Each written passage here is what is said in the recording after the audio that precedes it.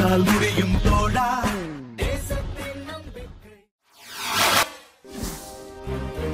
கடலூர் மாவட்டம் பண்ருட்டி நான்கு முனை சந்திப்பில் தொடர் விபத்தின் காரணமாக மாவட்ட காவல் கண்காணிப்பாளர் உத்தரவின் பேரில் சிக்னல் அமைக்கும் பணி தீவிரம்.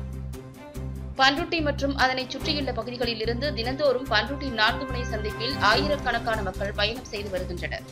அருகில் மார்க்கெட் பேருந்து நிலையம் என்பதால் எப்பொழுதும் பரபரப்பாக காணப்படும் ஒரு இடமாக இருந்து வருகிறது.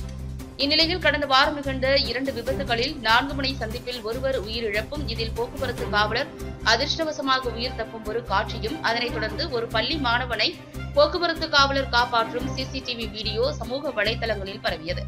இந்நிலையில் மாவட்ட காவல் கண்காணிப்பாளர் உத்தரவின் பேரில் போக்குவரத்து கண்காணிப்பு பிரிவு ஆய்வாளர் ஞானவேல் தலைமையில் பண்ருட்டி நான்கு முனை சந்திப்பில் சிக்னல் அமைப்பதற்கு ஆய்வு செய்தனர். உடன் போக்குவரத்து ஆய்வாளர் கோவிந்தசாமி போக்குவரத்து உதவி ஆய்வாளர் வெங்கடேசன் மற்றும் காவலர்கள் இருந்தனர். மேலும் விரைவில் இப்பகுதிகளில் அதிநவீன முறையில் சிக்னல் அமைத்து பொதுமக்கள் பயன்பாட்டிற்கு பயன்படுத்தப்படும் என்று கூறினார்கள்.